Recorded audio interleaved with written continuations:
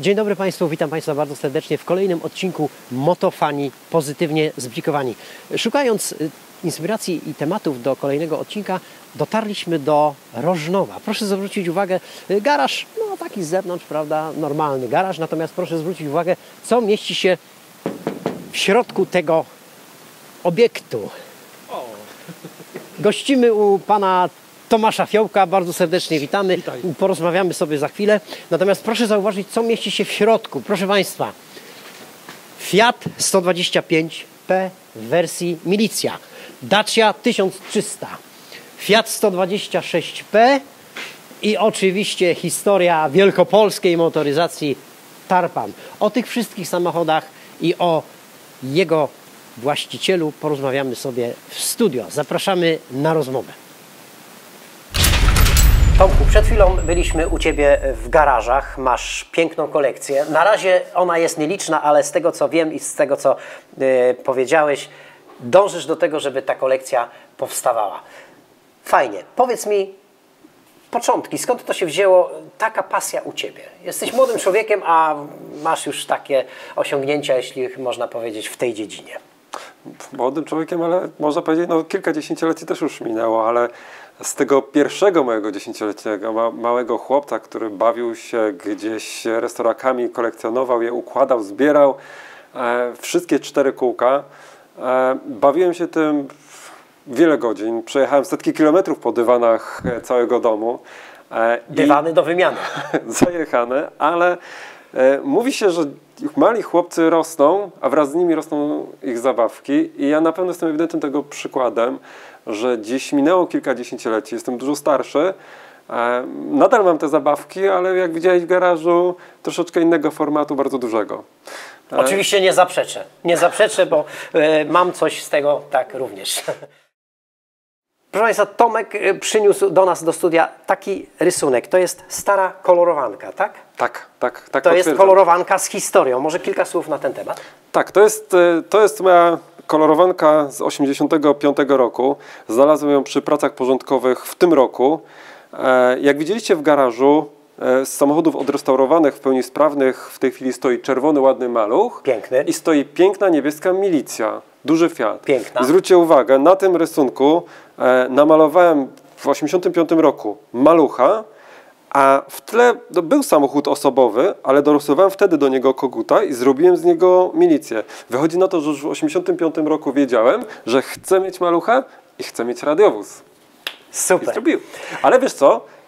Prawdopodobnie tak, bo chciałem, zrobiłem to i mam, ale to nie wszystko, bo na przykład pytanie, skąd y, wziął się na przykład tarpan w kolekcji, e, to szybko też odpowiem, że też jako to małe dziecko, które bawiło się rozagrakami, e, uwielbiałem jeździć z tatą tarpanem. E, I już wtedy obiecałem sobie, że jak będę duży, tak jak tata, to też sobie kupię tarpana i kupię. I masz. Tak. I masz. Nawet dwa. Jeden jako dawca, jeden jako biorca. Zgadza Ale o tarpanie za chwilę.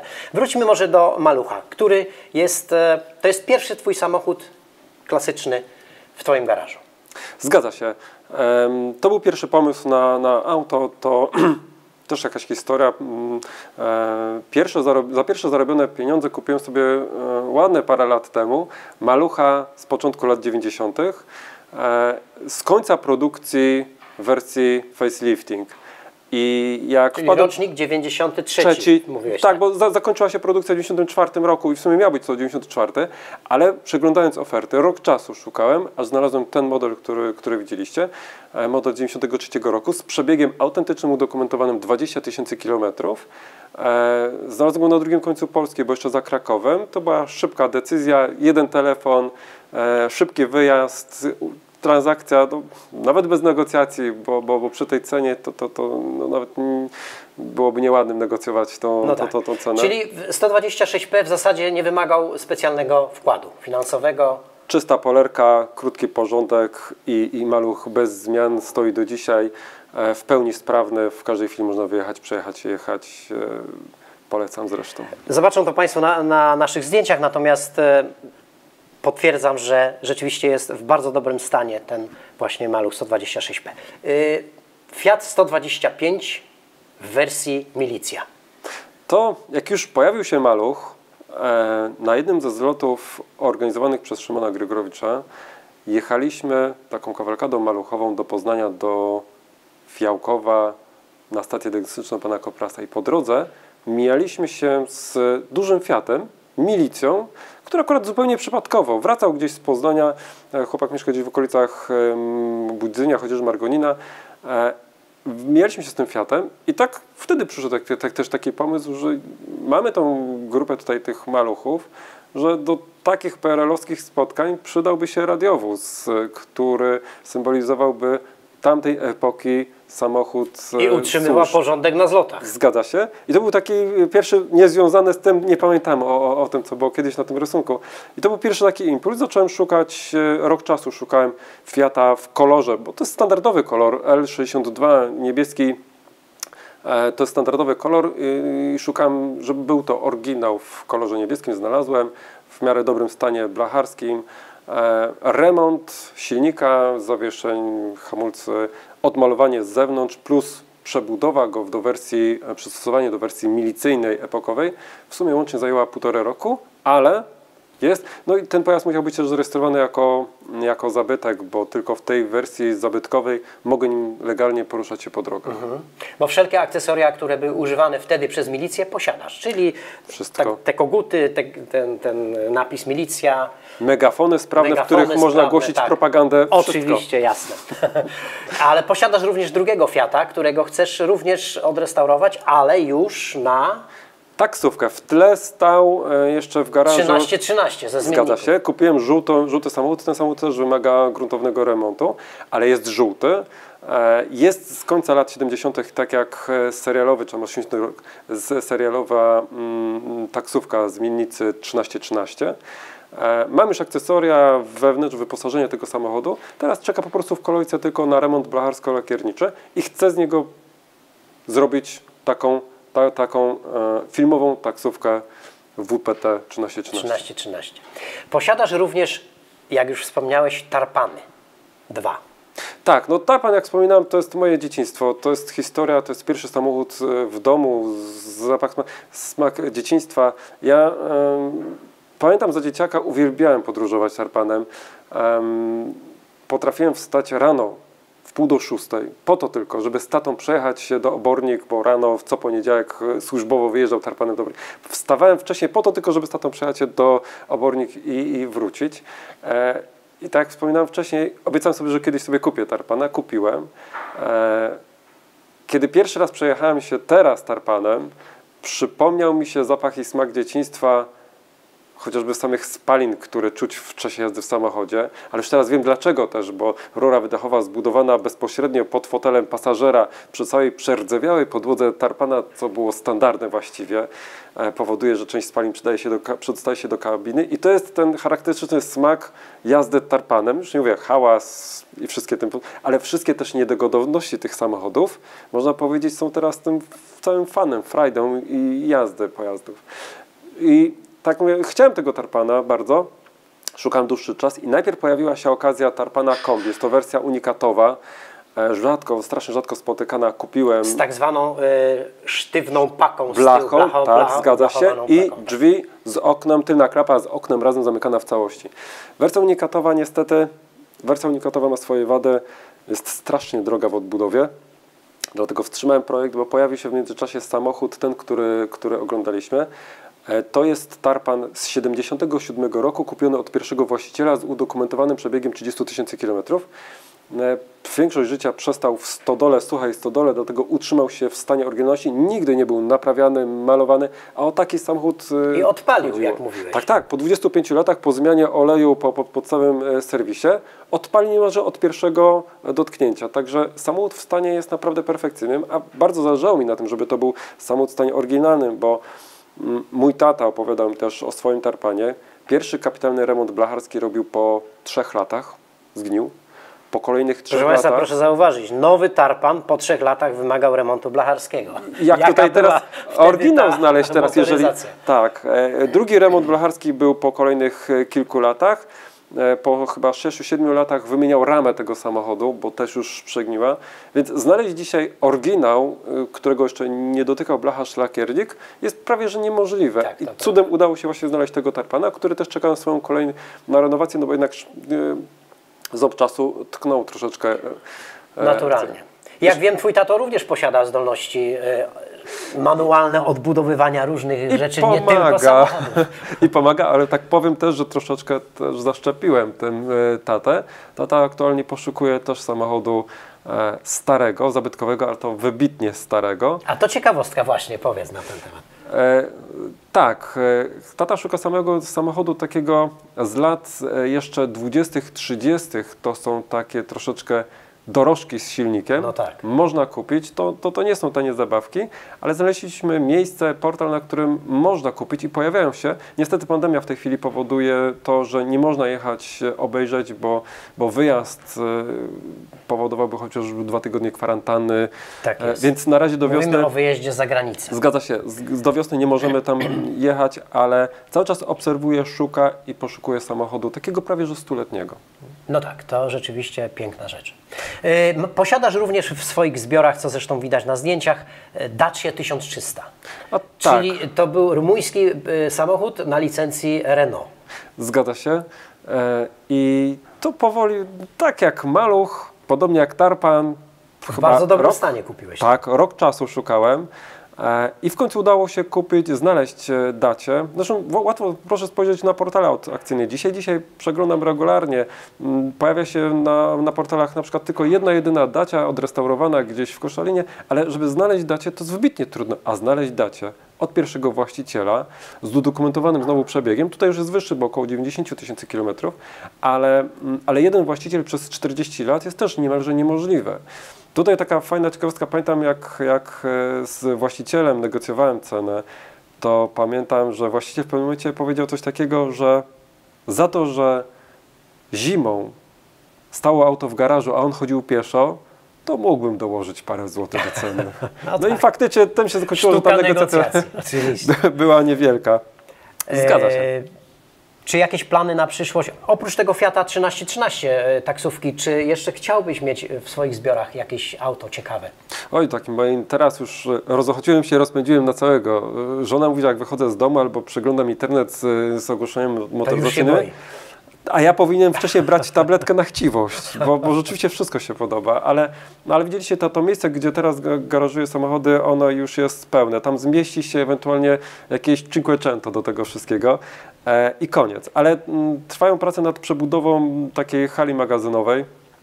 I tam docelowo te samochody mają trafić i dopiero wtedy, kiedy one trafią do tego nowego magazynu, wtedy będę miał miejsce na to, żeby kupić jakieś kolejne samochody e, do tej mojej kolekcji, bo moim takim cichym, małym marzeniem jest stworzenie ma małego muzeum polskiej, znaczy nie tylko polskiej motoryzacji, bo, bo jak widać jest tutaj rumuńska, co prawda jest ona połączona z jakąś moją historią też. Ale to są samochody, które w PRL-u jeździły, między innymi e, zastawa również jugosłowiańska. Tak, bo to, to i, i rzeczywiście dobrze, właśnie fajnie, że wspomniałeś o, o zastawie, bo zastawa to jest samochód, którego e, te- teraz też szukam.